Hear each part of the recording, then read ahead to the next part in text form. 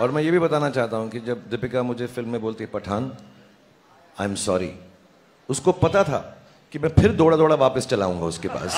She knows deep down inside and I just want to mention a small thing है sorry I don't mean to take away time of everyone on stage लेकिन uh, इस film के दौरान एक बहुत special चीज़ थी। आदि मेरे बहुत पुराने दोस्त हैं। सिट को भी मैं बहुत पहले से जानता हूँ। इनकी खूबसूरत वाइफ हैं जो दिल की बहुत ही अच्छी हैं ममता। John like I said I known Deepika but I tell you what I felt on the set because I was coming on the sets after many years a couple of years or more than that. And every shot that we've given, even before we've walked in here uh, from backstage, I know in everybody's heart, that is Deepika, John, Sid, all the people, Adi, Mamta, everyone who's involved with this film, the technicians, सबको हर रोज सिर्फ एक ही बात दिल में आती थी कि यार ये फ़िल्म शाहरुख भाई के लिए अच्छी हो।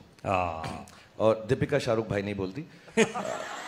जस्ट क्लैरिफाइंग ऐसा कभी गलत कुछ नहीं हो जाना चाहिए। बिकॉज़ हम इतनी फ़िल्में करने लगे तो भाई बहन ना लग समझने लगे। हमको ये बिल्कुल गलत हो जाएगा।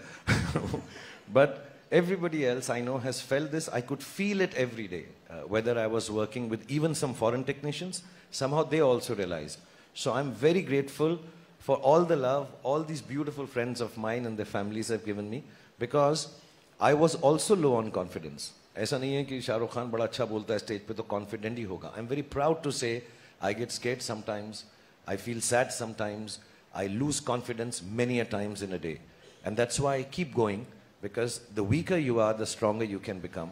But these are the people, all of them give me lot of strength and love. नमस्कार, मैं हूँ मानक गुप्ता। अगर आपको हमारा ये वीडियो पसंद आया हो तो इसे लाइक और शेयर ज़रूर करें। और हाँ, हमें सब्सक्राइब और फॉलो करना ना भूलें, ताकि आप देश और दुनिया की कोई खबर मिस ना करें। तो जुड़े रहिए हमारे साथ और देखते रहिए न्यूज़ 24